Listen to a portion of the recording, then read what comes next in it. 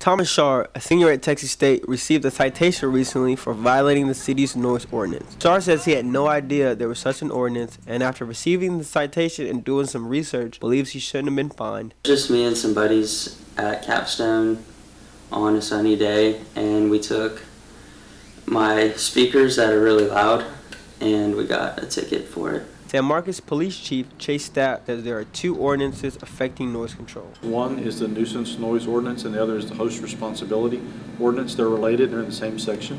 Andrea Sanchez, a senior at Texas State, says the noise control ordinances should strike a balance. If it's like on a Tuesday night, Monday night, Sunday night, like Wednesday night, I would have to approach them first myself and tell them, hey, you gotta keep it down or move it somewhere else, or uh, or else I'm gonna call the cops.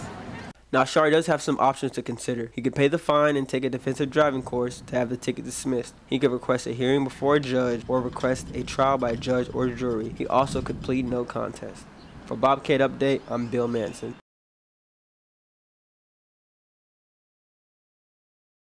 Fans of student radio station KTSW gathered at the Dahlia Woods Gallery in downtown San Marcos recently to celebrate the history of Mr. Fest. It's the largest event the radio station does in the year, and while, while the radio station does a lot of events, this one being as big of a spectacle as it is, I think catches more people's attention. Mr. Fest started as a one-day, one-venue event in 2008. It has grown to feature more than 60 performing artists in several locations in downtown San Marcos. Mr. Fest is now a two-day event.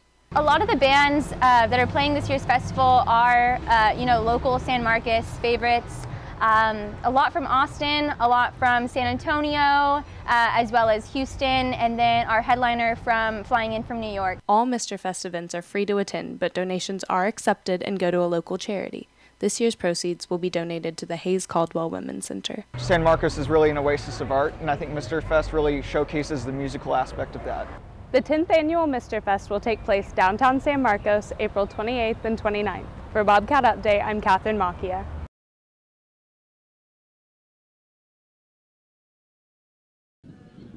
Students and vendors alike are planning for the next market day.